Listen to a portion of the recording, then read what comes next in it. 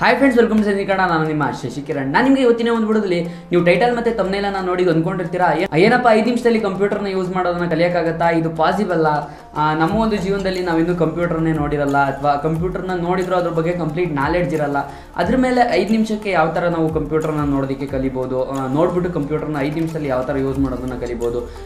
ಇದ್ರ ಬಗ್ಗೆ ಎಲ್ಲ ಕಂಪ್ಲೀಟ್ ಡೀಟೇಲ್ಸನ್ನು ನಾನು ನಿಮಗೆ ಇವತ್ತಿನ ಒಂದು ವಿಡಿಯೋದಲ್ಲಿ ತಿಳಿಸ್ತಾ ಇದ್ದೀನಿ. ಬನ್ನಿ ಹಾಗಾದ್ರೆ ವಿಡಿಯೋನ ಸ್ಟಾರ್ಟ್ ಮಾಡೋಣ. ಅದಕ್ಕೂ ಮೊದಲು ನೀವೇನಾದರೂ ನಮ್ಮ ಚಾನಲ್ಗೆ ಸಬ್ಸ್ಕ್ರೈಬ್ ಮಾಡಿಲ್ಲ ಅಂದರೆ ಕೆಳಗಡೆ ಕಾಣ್ತಾ ಇರೋ ಬೆಡ್ ಕಲ್ಬಿಟ್ಟು ನಾವು ಸಬ್ಸ್ಕ್ರೈಬ್ ಪಕ್ಕದಲ್ಲಿ ಕಾಣೋ ಬೆಲೆಕಾನ್ ನೋಟಿಫಿಕೇಶನ್ ಆನ್ ಮಾಡ್ಕೊಳ್ಳಿ ಫ್ರೆಂಡ್ಸ್ ನಮ್ಮ ವಿಡಿಯೋ ಇಷ್ಟ ಲೈಕ್ ಮಾಡಿ ಶೇರ್ ಮಾಡಿ ವಿಡಿಯೋನ ಬನ್ನಿ, ಹಾಗಾದ್ರೆ ವಿಡಿಯೋನ ಸ್ಟಾರ್ಟ್ ಮಾಡೋಣ. ಹೌದು ಸ್ನೇಹಿತರ, ಇವತ್ತಿನ ಒಂದು ವಿಡಿಯೋದಲ್ಲಿ ನಾನು ನಿಮಗೆ ನೀವೇನಾದರೂ ಒಂದು ಕಂಪ್ಯೂಟರ್ನ ನೋಡ್ತಾ ಇದ್ದೀರಾ, ನಿಮಗೆ ಯೂಸ್ ಮಾಡೋಕ್ಕೆ ಬರ್ತಾ ಇಲ್ಲ, ಅಥವಾ ನಿಮ್ಮ ಮನೇಲಿ ಏನಾದರೂ ಒಂದು ಕಂಪ್ಯೂಟರ್ ಅಥವಾ ಲ್ಯಾಪ್ಟಾಪ್ ಇದೆ, ಅದನ್ನು ನಿಮ್ಮ ಕೈಲಿ ಯೂಸ್ ಮಾಡೋಕೆ ಆಗ್ತಾ ಇಲ್ಲ ಏನಾದರೂ ಯೂಸ್ ಮಾಡೋಕೆ ಹೋಗ್ತಿದ್ದೀರಾ ಅಂದರೆ ಏನಾದರೂ ಆಗ್ಬಿಟ್ರೆ ಅನ್ನೋ ಒಂದು ಭಯ ಕಾಡ್ತಾ ಇರುತ್ತೆ.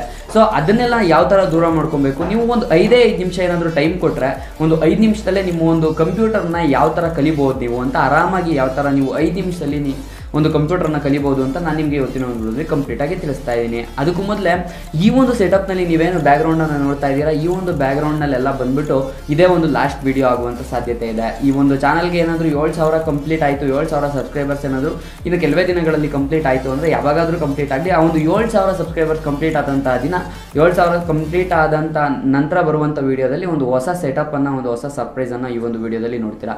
ಅದನ್ನೆಲ್ಲ ಯಾವ ಥರ ಮಾಡ್ತಾ ಇದ್ದೀವಿ, ಏನೇನು ಪ್ರಿಪ್ರೇಷನ್ ನಡೀತಾ ಇದೆ, ಅದಕ್ಕೆಲ್ಲ ಇದ್ರ ಬಗ್ಗೆ ಎಲ್ಲ ನೀವೇನಾದರೂ ತಿಳ್ಕೊಬೇಕು ಅಂದ್ಕೊಂಡಿದ್ರೆ ಅಂದರೆ ಕೆಳಗಡೆ ನಾನು ಡಿಸ್ಕ್ರಿಪ್ಷನಲ್ಲಿ ಲಿಂಕನ್ನು ಕೊಟ್ಟಿರುವಂಥ ನನ್ನ ಒಂದು ಲಾಗಿಂಗ್ ಚಾನಲ್ಗೆ ಹೋಗಿ ಅಲ್ಲಿ ಚೆಕ್ಔಟ್ ಮಾಡಿ ಅದರಲ್ಲಿ ವಿಡಿಯೋಗಳು ಅಪ್ಲೋಡ್ ಆಗಿರುತ್ತೆ. ಸೊ ವಿಷಯಕ್ಕೆ ಬರೋದಾದರೆ ಐದು ನಿಮಿಷದಲ್ಲಿ ಯಾವ ಥರ ನೀವು ಒಂದು ಕಂಪ್ಯೂಟರ್ನ ಕಲಿಬೋದು ಅನ್ನೋದ್ರ ಅನ್ನೋ ಒಂದು ವಿಷಯಕ್ಕೆ ಬರೋದಾದರೆ ನೀವು ಕಂಪ್ಯೂಟರ್ನ ಮೊದಲಿಗೆ ಬೇಸಿಕ್ಸ್ ಅನ್ನು ತಿಳ್ಕೊಬೇಕಾಗುತ್ತೆ ಸ್ನೇಹಿತರೆ. ಏನಪ್ಪ ಬೇಸಿಕ್ಸು ಕಂಪ್ಯೂಟರ್ ಬೇಸಿಕ್ಸ್ ಎಲ್ಲ ತಿಳ್ಕೊಂಬಿಟ್ರೆ ಹಂಗಾದ್ರೆ ಕಂಪ್ಯೂಟರ್ನ ಕಲಿಬೋದು ಐದು ನಿಮಿಷದಲ್ಲಿ ಅಂತ ತಿಳ್ ಕೇಳ್ತಾ ಇರ್ಬೋದು ನೀವು. ಹೌದು, ಆರಾಮಾಗಿ ಕಲಿಬೋದು. ಅದಕ್ಕೆ ನಿಮಗೆ ಐದು ನಿಮಿಷದಲ್ಲಿ ಕಂಪ್ಯೂಟರ್ನ ಕಲಿಯೋದಕ್ಕೆ ಒಂದು ಎಲಿಜಿಬಿಲಿಟಿ ಇರಬೇಕಾಗತ್ತೆ. ಏನಪ್ಪ ಒಂದು ಎಲಿಜಿಬಿಲಿಟಿ ಅಂದರೆ ನಿಮಗೆ ಇಂಗ್ಲೀಷನ್ನು ಓದೋದಕ್ಕೆ ಬರಬೇಕಾಗತ್ತೆ ಆ ಒಂದು ಓದಿದ್ದನ್ನು ಅರ್ಥ ಮಾಡ್ಕೊಳ್ಳೋದಕ್ಕೆ ಕ್ಲೀನಾಗಿ ಬರಬೇಕಾಗತ್ತೆ. ಯಾಕಪ್ಪ ಅಂದರೆ ನಾವು ನಮ್ಮ ಒಂದು ಮೊಬೈಲನ್ನು ಬೇಕಾದರೆ ಕನ್ನಡದಲ್ಲಿ ಸೆಟ್ ಮಾಡ್ಕೊಂಡು ಆರಾಮ್ ಯೂಸ್ ಮಾಡ್ಬೋದು. ಬಟ್ ಯಾರು ಕನ್ನಡದಲ್ಲಿ ಸೆಟ್ ಮಾಡ್ಕೊಂಡು ಯೂಸ್ ಮಾಡಲ್ಲ. ಎಂಥ ಅನ್ಎಜುಕೇಟೆಡ್ ಆಗಿದ್ರು ಸ್ಮಾರ್ಟ್ಫೋನ್ ಯೂಸ್ ಮಾಡ್ತಾನೆ ಅಂದರೆ ಆ ಒಂದು ಸ್ಮಾರ್ಟ್ಫೋನನ್ನು ಅವನು ಯಾವುದೇ ಕಾರಣಕ್ಕೂ ಕನ್ನಡದಲ್ಲಿ ಇಟ್ಕೊಂಡು ಯೂಸ್ ಮಾಡಲ್ಲ. ಎಷ್ಟೋ ಜನ ನೋಡ್ಬಿಟ್ಟಿದ್ದೀನಿ ಸುಮಾರಾಗಿ ನಾವು ಆಲ್ಮೋಸ್ಟ್ ಯೂಸ್ ಮಾಡಲ್ಲ ಅಲ್ವಾ? ಸೊ ಎಲ್ಲರೂ ಕೂಡ ಇಂಗ್ಲೀಷಲ್ಲೇ ಯೂಸ್ ಮಾಡ್ತೀವಿ. ಆಲ್ಮೋಸ್ಟ್ ಅಲ್ಲಿ ಅವ್ರಿಗೆ ಇಂಗ್ಲೀಷ್ ಅರ್ಥ ಆಗೋದಿಕ್ಕಾದರೂ ಬರ್ತಾ ಇರುತ್ತೆ. ಅಂದರೆ ಓದ್ಬಿಟ್ಟು ಅರ್ಥ ಮಾಡ್ಕೊಳೋದಕ್ಕೆ ಬರ್ತಾ ಇರುತ್ತೆ. ಸೊ ಕಂಪ್ಯೂಟರ್ನಂತೂ ನಾವು ಕನ್ನಡವನ್ನು ಅಂದರೆ ಇನ್ಸ್ಟಾಲ್ ಮಾಡೋಕೆ ಆಗಲ್ಲ ಅಂತ ಹೇಳ್ತಾ ಇಲ್ಲ ನಾನು. ಮಾಡ್ಬೋದು ಬಟ್ ಯಾರು ಅಂಥ ಒಂದು ದೊಡ್ಡ ಕೆಲಸ ಕೈ ಹಾಕೋಕೆ ಹೋಗಲ್ಲ. ಸೊ ಅವರು ಈ ನಾರ್ಮಲ್ ಆಗಿ ವಿಂಡೋಸ್ ಟೆನ್ನನ್ನು ಇನ್ಸ್ಟಾಲ್ ಮಾಡಬೇಕಾದ್ರೂ ಅಥವಾ ವಿಂಡೋಸನ್ನು ಇನ್ಸ್ಟಾಲ್ ಮಾಡಬೇಕಾದ್ರೆ ಅದು ಕೇಳುತ್ತೆ, ಯಾವ ಒಂದು ಲ್ಯಾಂಗ್ವೇಜಲ್ಲಿ ನೀವು ವಿಂಡೋಸನ್ನು ನೋಡೋದಕ್ಕೆ ಇಷ್ಟಪಡ್ತೀರಾ ಅಂತ. ಸೊ ನಾವೆಲ್ಲ ಏನು ಮಾಡ್ತೀವಪ್ಪ ಅಂದರೆ ಇಂಗ್ಲೀಷ್ ಯು ಎಸ್ ಇಲ್ಲ ಇಂಗ್ಲೀಷ್ ಇಂಡಿಯಾ ಹಾಕ್ಕೊಂಡು ಆರಾಮಾಗಿ ಒಂದು ಕಂಪ್ಯೂಟರ್ನ ಸ್ಟಾರ್ಟ್ ಮಾಡ್ಕೊಂಡ್ಬಿಡ್ತೀವಿ. ಸೊ ನಮಗೆ ಯಾವುದೇ ಒಂದು ಕಂಪ್ಯೂಟರ್ಗಳು ಕೂಡ ನಾವು ಪ್ರೆಸೆಂಟ್ ನಾರ್ಮಲಿ ನೋಡೋ ಪ್ರಕಾರ ನಮಗೆ ಕನ್ನಡದಲ್ಲಿ ನೋಡೋದಕ್ಕೆ ಸಿಗಲ್ಲ. ಸೊ ನಮಗೆ ಇಂಗ್ಲೀಷು ಓದೋದಕ್ಕೆ ಮತ್ತು ಅರ್ಥ ಮಾಡ್ಕೊಳ್ಳೋದಕ್ಕೆ ಈಸಿಯಾಗಿ ಬರಬೇಕಾಗತ್ತೆ. ನಾವು ಓದ್ಬಿಟ್ಟು ಅರ್ಥ ಮಾಡ್ಕೊಳ್ಳೋದಕ್ಕೆ ಏನಾದರೂ ಇಂಗ್ಲೀಷ್ ಈಸಿಯಾಗಿ ಬರ್ತಾ ಇದೆ ಅಂದರೆ ನೀವು ಆರಾಮಾಗಿ ಕಂಪ್ಯೂಟರ್ನ ಕಲಿಬೋದು ಸ್ನೇಹಿತರೆ. ಹೌದು, ಯಾವ ಥರ ಕಂಪ್ಯೂಟರ್ನ ಕಲಿಬೇಕು? ಮೊದಲು ನೀವೇನಪ್ಪ ತಿಳ್ಕೊಬೇಕು ಅಂದರೆ ಕಮ್ಮಿ ಅಂದರೆ ಓದೋದಕ್ಕೆ ಬಂದ್ಬಿಟ್ರೆ, ಅರ್ಥ ಮಾಡ್ಕೊಳ್ಳೋದಕ್ಕೆ ಬಂದ್ಬಿಟ್ರೆ ಎಲ್ಲ ಬಂದ್ಬಿಡುತ್ತೆ? ಅಂದರೆ ಇಂಗ್ಲೀಷ್ ಮಾತಾಡೋದಕ್ಕೆ ಬರುತ್ತಪ್ಪ ಕ್ಲೀನಾಗಿ ಮಾತಾಡ್ತೀನಿ, ನಾನು ಇಂಗ್ಲೀಷ್ನ ಫುಲ್ಲು ಫ್ಲೂಯೆಂಟ್ ಇಂಗ್ಲೀಷ್ ಮಾತಾಡ್ತೀನಿ ಬಟ್ ನಂಗೆ ಕಂಪ್ಯೂಟರ್ ಯೂಸ್ ಮಾಡೋಕ್ಕೆ ಬರಲ್ಲ ಅಂತ ಎಷ್ಟೊಂದು ಜನ ಅನ್ಬೋದು. ನೈಂಟೀಸ್ ಅವ್ರಿಗೆಲ್ಲ ಫುಲ್ಲು ಅವರೆಲ್ಲ ಆಗಿನ ಕಾಲದಲ್ಲೇ ಇಂಗ್ಲೀಷ್ ಎಲ್ಲ ಕರೆಕ್ಟಾಗಿ ಮಾತಾಡ್ತಾ ಇರ್ತಾರೆ ಕಂಪ್ಯೂಟರ್ನ ಯೂಸ್ ಮಾಡೋಕ್ಕೆ ಬರಲ್ಲ. ಸೊ ಎಷ್ಟೋ ಜನ ಸ್ಟೂಡೆಂಟ್ಸ್ಗೂ ಅದೇ ಒಂದು ತೊಂದರೆ ಆಗುತ್ತೆ ಸ್ನೇಹಿತರೆ, ಅವ್ರು ಕಂಪ್ಯೂಟರ್ ಬಗ್ಗೆ ಸ್ವಲ್ಪ ನಾಲೆಡ್ಜ್ ಭಯ ಇರುತ್ತೆ ಕಂಪ್ಯೂಟರ್ ಬಗ್ಗೆ. ಕಂಪ್ಯೂಟರ್ನ ಮುಟ್ಬಿಟ್ರೆ ಏನಾದರೂ ಕೆಟ್ಟೋಗ್ಬಿಡುತ್ತೆ, ಆ ಥರ ಎಲ್ಲ ಭಯ ಇರುತ್ತೆ. ಸೊ ಅವರೆಲ್ಲ ಏನಪ್ಪ ಮಾಡಬೇಕು ಅಂದರೆ ಕಂಪ್ಯೂಟರ್ನ ಬಗ್ಗೆ ಬೇಸಿಕ್ಸ್ ಅನ್ನು ತಿಳ್ಕೊಬೇಕು. ಏನು ಕಂಪ್ಯೂಟರ್ನ ಬಗ್ಗೆ ಬೇಸಿಕ್ಸ್ ಅದ್ರ ಬಗ್ಗೆ ತಿಳ್ಕೊಳ್ಳೋಣ ಬನ್ನಿ. ಕಂಪ್ಯೂಟರ್ನ ಬಗ್ಗೆ ಬೇಸಿಕ್ಸ್ ಅಂದರೆ ಏನಪ್ಪ ಅಂದರೆ ಕಂಪ್ಯೂಟರ್ನ ಒಳಗಡೆ ಒಳಗಡೆ ಏನಿದೆ, ಆ ಹೊರಗಡೆ ಏನಿದೆ ಹಾರ್ಡ್ವೇರ್ ಬಗ್ಗೆ ಸಾಫ್ಟ್ವೇರ್ ಬಗ್ಗೆ. ಫಸ್ಟ್ ನಾವು ಸಾಫ್ಟ್ವೇರ್ ಬಗ್ಗೆ ತಿಳ್ಕೊಬೇಕಾಗತ್ತೆ, ನಂತರ ನಾವು ಹಾರ್ಡ್ವೇರ್ನ ಬಗ್ಗೆ ತಿಳ್ಕೊಬೇಕಾಗತ್ತೆ. ಸಾಫ್ಟ್ವೇರ್ನ ಬಗ್ಗೆ ತಿಳ್ಕೊಳೋಕ್ಕಿಂತ ಮುಂಚೆ ಹಾರ್ಡ್ವೇರ್ ಅಂದರೆ ನಮ್ಗೆ ಏನಪ್ಪ ಬರುತ್ತೆ? ಸಿ ಪಿ ಯು ಒಳಗಡೆ ಇರುವಂಥದ್ದನ್ನ ಹಾರ್ಡ್ವೇರ್ ಅಂತೀವಿ. ಸೊ ಆಚೆಗಡೆ ಬರೋದೆಲ್ಲ output devices sorry input devices ಅಂತ ಬರ್ತದೆ. ಆ ಇನ್ಪುಟ್ ಡಿವೈಸಸ್ ಡಿವೈಸಸ್ ಬೇರೆ ಹಾರ್ಡ್ವೇರ್ ಬೇರೆ. ಸೊ ನಾವೇನಪ್ಪ ಮಾಡಬೇಕು ಅಂದರೆ ಈ ಡಿವೈಸಸ್ನ ಬಗ್ಗೆ ತಿಳ್ಕೊಬೇಕಾಗುತ್ತೆ ಫಸ್ಟು ಮೌಸ್ ಯಾವುದು ಅಂತ ಗೊತ್ತಿರಬೇಕಾಗುತ್ತೆ. ಮೌಸ್ನಲ್ಲಿ ಎರಡು ಬಟನ್ ಇರುತ್ತೆ, ಒಂದು ಸ್ಕ್ರಾಲಿಂಗ್ ಬಟನ್ ಇರುತ್ತೆ. ಸೊ ಆ ಒಂದು ಫಂಕ್ಷನ್ ಗೊತ್ತಿರಬೇಕಾಗುತ್ತೆ ಕೀಬೋರ್ಡ್ ಬಗ್ಗೆ ಗೊತ್ತಿರಬೇಕಾಗುತ್ತೆ. ಅದಾದಮೇಲೆ ಸಿ ಪಿ ಯು ಬಗ್ಗೆ ಗೊತ್ತಿರಬೇಕಾಗುತ್ತೆ ಮಾನಿಟರ್ನ ಬಗ್ಗೆ ಗೊತ್ತಾಗ, ಗೊತ್ತಿರಬೇಕಾಗುತ್ತೆ. ನಮಗೆ ಈ ಮೌಸ್ನ ಬಗ್ಗೆ ಮೊದಲು ತಿಳ್ಕೊಬೇಕಾಗುತ್ತೆ ನಾವು. ಮೌಸು ನಾವು ಎಲ್ಲ ಮೋಸ್ಟ್ ಆಫ್ ಆಲ್ ಕಂಪ್ಯೂಟರ್ನ ಯೂಸ್ ಮಾಡೋದಕ್ಕೆ ಎಲ್ಲರೂ ಕೂಡ ಯೂಸ್ ಮಾಡೋದೇ ಮೌಸು ಕೀಬೋರ್ಡ್ಗಿಂತ ಜಾಸ್ತಿ ಮೌಸನ್ನೇ ಎಲ್ಲರೂ ಯೂಸ್ ಮಾಡೋದು. ಯಾಕಪ್ಪ ಅಂದರೆ ಪ್ರತಿಯೊಂದು ಫಂಕ್ಷನ್ಗೂ ನಾವು ಮೌಸನ್ನು ಯೂಸ್ ಮಾಡೇ ಮಾಡ್ತೀವಿ. ಸೊ ಮೌಸಲ್ಲಿ ಎರಡು ಬಟನ್ ಬರುತ್ತೆ, ಒಂದು ರೈಟ್ ಕ್ಲಿಕ್ ಬರುತ್ತೆ ಒಂದು ಲೆಫ್ಟ್ ಕ್ಲಿಕ್ ಬರುತ್ತೆ. ಆ ಒಂದು ರೈಟ್ ಕ್ಲಿಕ್ ಬಂದ್ಬಿಟ್ಟು ನಮಗೆ ಆಪ್ಷನನ್ನು ತೊಗೊಳೋದಕ್ಕೆ ಬರುತ್ತೆ. ಅಂದರೆ ನಾವೇನಾದರೂ ಓಕೆ ಮಾಡಿ ಒಂದು ಆಪ್ಷನನ್ನು ಓಪನ್ ಮಾಡ್ತೀವಿ ಅಂದರೆ ರೈಟ್ ಕ್ಲಿಕ್ನ ಮಾಡಿಬಿಟ್ಟು ಆಪ್ಷನನ್ನು ಓಪನ್ ಮಾಡಬೇಕಾಗುತ್ತೆ. ಲೆಫ್ಟ್ ಕ್ಲಿಕ್ ಬಂದ್ಬಿಟ್ಟು ಕ್ಲಿಕ್ ಮಾಡೋದಕ್ಕೆ. ನಾವು ಇವಾಗ ಒಂದು ಕ್ರೋಮನ್ನು ಓಪನ್ ಮಾಡಬೇಕು. ಕ್ರೋಮ್ ಹತ್ರಕ್ಕೆ ಹೋಗ್ಬಿಟ್ಟು ಲೆಫ್ಟ್ ಕ್ಲಿಕ್ ಅಂತ ರೈಟ್ ಕ್ಲಿಕ್ ಅಂತ ಹೊಡೆದ್ರೆ ಕ್ರೋಮ್ದು ಆಪ್ಷನ್ಗಳು ಓಪನ್ ಆಗುತ್ತೆ. ಅಂದರೆ ಆ ಒಂದು ಕಂಪ್ಯೂಟರ್ನಲ್ಲಿ ಇರುವಂಥ ಸಿ ಡ್ರೈವ್ದು ಆಪ್ಷನ್ ಎಲ್ಲ ಓಪನ್ ಆಗುತ್ತೆ. ಸೊ ಲೆಫ್ಟ್ ಕ್ಲಿಕ್ ಮಾಡಿದ್ರೆ ನಮಗೆ ಕ್ರೋಮ್ ಓಪನ್ ಆಗುತ್ತೆ ಡೈರೆಕ್ಟಾಗಿ ಸೊ ಆ ಥರ ನಮಗೆ ಇದು ಇದಿಷ್ಟು ಬಂದು ಮೌಸ್ನ ಬಗ್ಗೆ ಆಯಿತು. ಇನ್ನೊಂದು ಬಟನ್ ಇರುತ್ತೆ ಸ್ಕ್ರಾಲಿಂಗ್ ಬಟನ್ದು ನಾನು ಬರೀ ನಾರ್ಮಲ್ ಮೌಸ್ನ ಬಗ್ಗೆ ಹೇಳ್ತಾ ಇದ್ದೀನಿ. ಗೇಮಿಂಗ್ ಮೌಸ್ನಲ್ಲಿ ಹತ್ತು ಹನ್ನೆರಡು ಬಟನ್ಗಳೆಲ್ಲ ಇರುತ್ತೆ.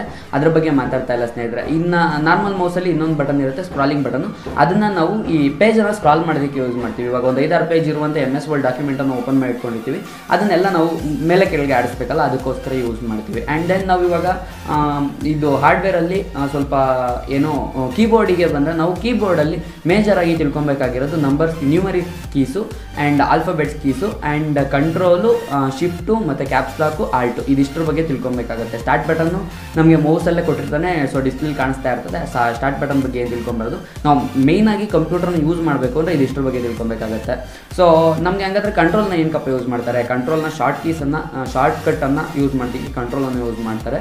ಆ್ಯಂಡ್ ಶಿಫ್ಟನ್ನು ಏನಕ್ಕೆ ಯೂಸ್ ಮಾಡ್ತಾರೆ? ಶಿಫ್ಟನ್ನು ಫಾರ್ ಸಿಂಬಲ್ಸ್ ಸಿಂಬಲ್ಗಳು ಇರೋದಕ್ಕೆ ನಾವು ಶಿಫ್ಟನ್ನು ಯೂಸ್ ಮಾಡ್ತೀವಿ. ಮೇಲ್ಗಡೆ ನೀವು ಕೀಬೋರ್ಡನ್ನು ಏನಾದರೂ ನೋಡಿದರೆ ಕೀಬೋರ್ಡಲ್ಲಿ ನಿಮಗೆ ನ್ಯೂಮರಿಕ್ ಕೀಸ್ನ ಮೇಲೆಲ್ಲ ಒಂದೆರಡು ಬ ಶಿಫ್ಟ್ ಸಿಂಬಲ್ಸ್ಗಳಿರುತ್ತೆ ಆ ಶಿಫ್ಟ್ ಸಿಂಬಲ್ಸ್ಗಳನ್ನೆಲ್ಲ ಯೂಸ್ ಮಾಡೋದಕ್ಕೆ ಶಿಫ್ಟನ್ನು ಯೂಸ್ ಮಾಡ್ತೀವಿ.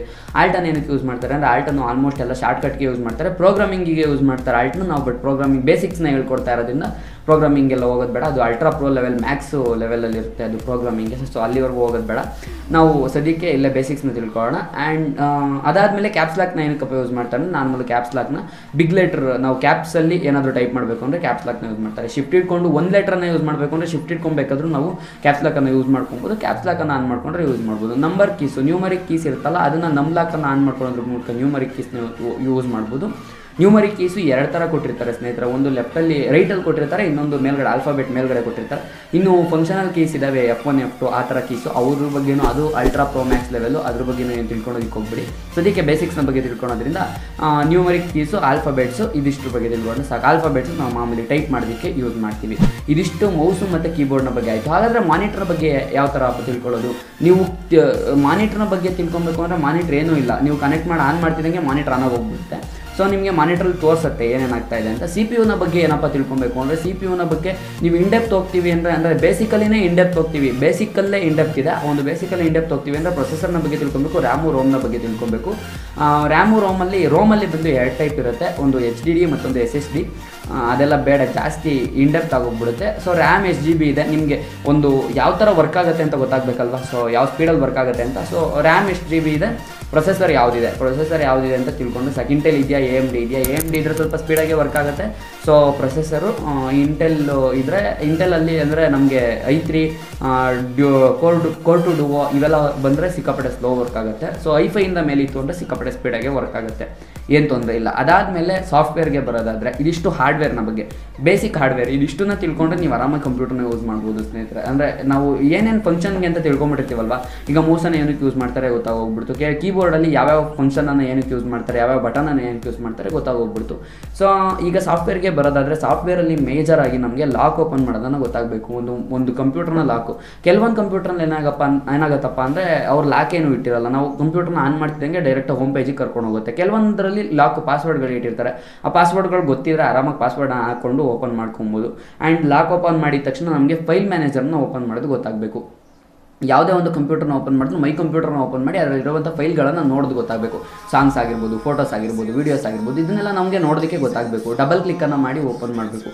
ಸೊ ಅದನ್ನು ಗೊತ್ತಾದರೆ ನಿಮಗೆ ಬೇಸಿಕಲಿ ನೀವು ಏನು ಮಾಡಬೇಕು? ಒಂದು ಲಾಕ್ ಓಪನ್ ಮಾಡಿದ್ದೀರಾ? ನೀವು ಹೋಗಬೇಕು ಮೌಸನ್ನು ತೊಗೊಂಡೋಗಿ ಮೈ ಕಂಪ್ಯೂಟರ್ ಅಂತ ಒಂದು ಆಪ್ಷನ್ ಇರುತ್ತೆ. ಎಲ್ಲ ಕಂಪ್ಯೂಟರಲ್ಲೂ ದಿಸ್ ಪಿ ಸಿ ಅಥವಾ ಮೈ ಕಂಪ್ಯೂಟರ್ ಈ ಎರಡು ಆಪ್ಷನ್ ಇರುತ್ತೆ. ಆ ಎರಡು ಆಪ್ಷನಲ್ಲಿ ನೀವು ಯಾವುದಾದ್ರೂ ಎರಡು ಆಪ್ಷನಲ್ಲಿ ಯಾವುದಿದ್ರೂ ಕೂಡ ಅದನ್ನು ಓಪನ್ ಮಾಡಿ ಡಬಲ್ ಕ್ಲಿಕ್ ಮಾಡಿ, ಅದು ಡೈರೆಕ್ಟಾಗಿ ಅದಾದಮೇಲೆ ಸಿ ಡ್ರೈವು ಡಿ ಡ್ರೈವು ಇದನ್ನು ತೋರಿಸುತ್ತೆ. ಸಿ ಡ್ರೈವ್ ಡಿ ಡ್ರೈವ್ ಈ ಡ್ರೈವು ಕೆಲವೊಂದು ಸಲ ತೋರಿಸುತ್ತೆ. ಸೊ ನೀವೇನಪ್ಪ ಮಾಡಬೇಕು ಅಂದರೆ ಡಿ ಡ್ರೈವ್ನ ಓಪನ್ ಮಾಡಬೇಕು ಸ್ನೇಹಿತರೆ. ಡಿ ಡ್ರೈವ್ನ ಓಪನ್ ಮಾಡಿದ್ರೆ ಅದರಲ್ಲಿ ನಿಮಗೆ ಎಲ್ಲವೂ ಸಿಗುತ್ತೆ. ಅಂದರೆ ಅವರು ಇಟ್ಟಿರುವಂಥ ಸಿ ಡ್ರೈವ್ನ ಓಪನ್ ಮಾಡಿದ್ರೆ ಪ್ರೋಗ್ರಾಮಿಂಗ್ ಫೈಲ್ ಸಿಗುತ್ತೆ. ಅಂದರೆ ಅದರಲ್ಲಿ ಯಾವ್ಯಾವ ಒಂದು ಆ್ಯಪ್ಸ್ ಇನ್ಸ್ಟಾಲ್ ಆಗಿರುತ್ತೆ ಸಾಫ್ಟ್ವೇರ್ ಇನ್ಸ್ಟಾಲ್ ಆಗಿರುತ್ತೆ, ಅದ್ರ ಬಗ್ಗೆ ಎಲ್ಲ ಫೈಲ್ ಸಿಗುತ್ತೆ. ನಮ್ಗೆ ಅದೇನು ಬೇಡ. ಯಾಕಂದರೆ ಬೇಸಿಕ್ಸ್ ಅಲ್ವಾ? ನಮಗೆ ಅಲ್ಟ್ರಾ ಪ್ರೋ ಮ್ಯಾಕ್ಸ್ ಲೆವೆಲಿಗೆ ನೀವು ಹೋದಾಗ ಅವಾಗ ಗೊತ್ತಾಗುತ್ತೆ. ಸೊ ಬೇಸಿಕ್ಸ್ ಅಲ್ವಾ? ಬೇಸಿಕ್ಸಲ್ಲಿ ನಮಗೆ ಏನು ಅದೆಲ್ಲ ಬೇಡ. ಸೊ ಡಿ ಡ್ರೈವ್ನ ಓಪನ್ ಮಾಡಿದ್ರೆ ಅದರಲ್ಲಿ ಸಾಂಗ್ಸು ವೀಡಿಯೋಸು ಫೋಟೋಸ್ ಇವೆಲ್ಲ ಸಿಗುತ್ತೆ. ಅದನ್ನು ಓಪನ್ ಮಾಡ್ಕೊಬೇಕು, ಅದನ್ನು ಓಪನ್ ಮಾಡೋದನ್ನು ಕಲ್ತ್ಕೊಬೇಕು. ಇದಿಷ್ಟು ನಾವು ಓಪನ್ ಮಾಡೋದನ್ನು ಕಲ್ತ್ಕೊಂಡಿದ್ದೀರಾ ಅಂದರೆ ನೀವೇ ಆರಾಮಾಗಿ ಪೇಂಟ್ ಆಗಿರ್ಬೋದು ಎಂ ಎಸ್ ವರ್ಡ್ ಆಗಿರ್ಬೋದು ಬೇಸಿಕ್ಸಲ್ಲಿ ನಮಗೆ ಇವಾಗ ಏನಾದರೂ ನಾವು ಬೇಸಿಕ್ಗೆ ಹೋಗ್ಬಿಟ್ಟು ಕಂಪ್ಯೂಟರ್ ಶಾಪ್ ಕಂಪ್ಯೂಟರ್ಗೆ ಸೇರ್ಕೊಂತೀವಿ ಅಂದ್ಕೊಳ್ಳಿ ಕಂಪ್ಯೂಟರ್ ಕ್ಲಾಸ್ಗಳಿಗೆ ಏನಪ್ಪ ಹೇಳ್ಕೊಡ್ತಾರೆ ಅಂದರೆ ಬೇಸಿಕ್ಸಲ್ಲಿ ಎಂ ಎಸ್ ವರ್ಡನ್ನು ಹೇಳ್ಕೊಡ್ತಾರೆ ಪೇಂಟಿಂಗನ್ನು ಹೇಳ್ಕೊಡ್ತಾರೆ ಟ್ಯಾಲಿ ಬಂದು ಸಪ್ರೇಟ್ ಒಂದು, ಅದಕ್ಕೆ ಅಂತಲೇ ಸಪ್ರೇಟ್ ಇರುತ್ತೆ. M S world M S ಆಫೀಸನ್ನು full ಹೇಳ್ಕೊಡ್ತಾರೆ. ಸ್ನೇಹಿತರೆ ಪವರ್ ಪಾಯಿಂಟ್ ಆಗಿರ್ಬೋದು ಎಕ್ಸೆಲ್ ಆಗಿರ್ಬೋದು ಆ್ಯಂಡ್ ವರ್ಲ್ಡ್ ಆಗಿರ್ಬೋದು, ಇದನ್ನು ಸಪ್ರೇಟಾಗಿ ಹೇಳ್ಕೊಡ್ತಾರೆ. ಆ್ಯಂಡ್ ನಮಗೆ ಸಪ್ರೇಟಾಗಿ ಪೇಂಟಿಂಗನ್ನು ಹೇಳ್ಕೊಡ್ತಾರೆ. ಫೈಲ್ ಮ್ಯಾನೇಜರ್ ಇವನ್ನೆಲ್ಲ ಓಪನ್ ಮಾಡೋದನ್ನು ಕೂಡ ಹೇಳ್ಕೊಡ್ತಾರೆ. ನೀವು ಇದಿಷ್ಟನ್ನು ಫೈಲ್ ಮ್ಯಾನೇಜರ್ ಓಪನ್ ಮಾಡೋವರೆಗೂ ಈ ವಿಡಿಯೋ ನೋಡ್ಬಿಟ್ಟು ಏನಾದರೂ ತಿಳ್ಕೊಂಡಿದ್ದೀರಾ ಅಂತ ನಿಮಗೆ ಕಂಪ್ಯೂಟರ್ ಓಪನ್ ಮಾಡೋದು ಬಂತು ಅಂತಾನೆ ಕಂಪ್ಯೂಟರ್ ಯೂಸ್ ಮಾಡೋದು ಬಂತು ಅಂತಾನೆ ಅದಷ್ಟೇ ಇನ್ನೇನು ಇಲ್ಲ, ನೀವು ನಾರ್ಮಲಾಗಿ ಅದಷ್ಟು ಯೂಸ್ ಮಾಡ್ತಾ ಇದ್ರೆ ಕೈ ಆಡ್ತಾ ಆಡ್ತಾ ಆರಾಮಾಗಿ ಬರುತ್ತೆ. ಕಂಪ್ಯೂಟರ್ ಕೆಟ್ಟೋಗುತ್ತೆ ಅಂತ ಯಾವತ್ತೂ ಅಂದ್ಕೊಳಕ್ಕೆ ಹೋಗ್ಬಿಡಿ. ಕಂಪ್ಯೂಟರ್ ಏನಾಗಲ್ಲ, ಯಾವುದೇ ಕಾರಣಕ್ಕೂ ಕೆಟ್ಟೋಗಲ್ಲ. ಹಂಗಂತ ನೀವು ಈ ಸಿ ಡ್ರೈವಲ್ಲೆಲ್ಲ ಹೋಗ್ಬಿಟ್ಟು ಏನೇನೋ ಕೆಡಿಸ್ಬಿಟ್ಟು ಆ್ಯಪ್ ಓಪನ್ ಆಗ್ತಾ ಇಲ್ಲ ಅನ್ನೋದಲ್ಲ, ನೀವು ಸಿ ಡ್ರೈವ್ಗೆಲ್ಲ ಹೋಗ್ಬಿಡಿ. ಡಿ ಡ್ರೈವ್ನಲ್ಲೇ ಏನಾದರೂ ಮಾಡ್ಕೊಂಡ್ರೆ ಫಾರ್ಮೆಟ್ ಹೊಡಿಬಾರ್ದು. ಒಂದು ಫಾರ್ಮೆಟ್ ಹೊಡಿಲಿಲ್ಲ ಅಂದರೆ ಎಲ್ಲ ಅದರಲ್ಲೇ ಸೇಫ್ ಆಗಿರುತ್ತೆ. ಸೊ ಏನು ವರ್ಕ್ ಏನೂ ಆಗಲ್ಲ. ನೀವು ಯೂಟ್ಯೂಬಲ್ಲೆಲ್ಲ ನೋಡಿಕೊಂಡು ಕಂಪ್ಯೂಟ್ರಿಗೆ ಇಂಟರ್ನೆಟನ್ನು ಕನೆಕ್ಟ್ ಮಾಡ್ಕೊಳ್ಳೋದು ಯಾವ ಥರ ಇದನ್ನೆಲ್ಲ ಮಾಡಿಕೊಂಡು ಕ್ರೋಮ್ ಎಲ್ಲ ಓಪನ್ ಮಾಡ್ಕೊಂಡು ನೀವು ಬ್ರೌಸಿಂಗ್ ಎಲ್ಲ ಆರಾಮಾಗಿ ಮಾಡ್ಬೋದು. ಫಿಲ್ಮ್ ಎಲ್ಲ ಆರಾಮಾಗಿ ನೋಡ್ಬೋದು. ನೀವೇ ಕಾಪಿ ಮಾಡ್ಕೊಬೋದು. ಕಾಪಿ ಪೇಸ್ಟು ಕಟ್ಟು ಇವನ್ನೆಲ್ಲ ಮಾಡ್ಕೊಬೋದು ಸ್ನೇಹಿತರೆ. ಇದಿಷ್ಟನ್ನ ಆರಾಮ್ ನಾರ್ಮಲಾಗಿ ತಿಳ್ಕೊಂಡ್ರೆ ನಿಮಗೆ ಕಂಪ್ಯೂಟರ್ ಓಪನ್ ಮಾಡೋದು, ಅಂದರೆ ಕಂಪ್ಯೂಟರ್ ಯೂಸ್ ಮಾಡೋದು ಬಂತು ಅಂತಾನೆ. ಇದಿಷ್ಟು ಇವತ್ತಿನ ಒಂದು ವಿಡಿಯೋದಲ್ಲಿ. ವಿಡಿಯೋ ಎಷ್ಟಾಗಿ ಅನ್ಕೊಂಡಿದ್ದೀನಿ ವಿಡಿಯೋ ಅನ್ಕೊಂಡು ವಿಡಿಯೋ ಎಷ್ಟಾರ ಲೈಕ್ ಮಾಡಿ ಶೇರ್ ಮಾಡಿ ನೋಡ್ಕೊಳ್ಳೋದಾಗಿದೆ ಧನ್ಯವಾದಗಳು ಸುದ್ದಿನ ಬೈ ಫ್ರೆಂಡ್